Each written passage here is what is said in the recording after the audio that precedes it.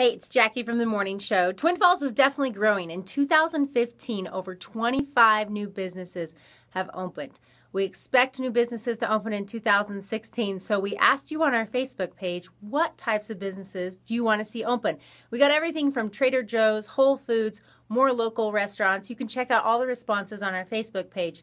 But if you want an honest answer, ask your kids. We asked a bunch of Magic Valley kids what they think Twin Falls needs in 2016 these are their responses. What is Twin Falls? uh, the future! New Jersey and Nick Jonas. Africa, so we can pet all the animals. Great Oak Fudge. Gingerbread House. Like these? Yeah. Dragons. Dragons? Video games.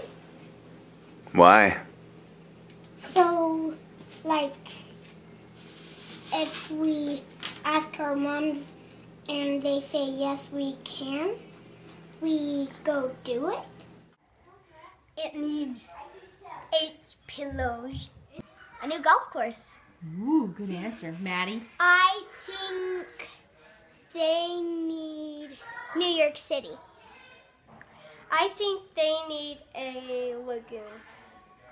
Oh, oh, I want to go to Vitamin and Mulch World. A, a Vitamin and Mulch World. Yeah.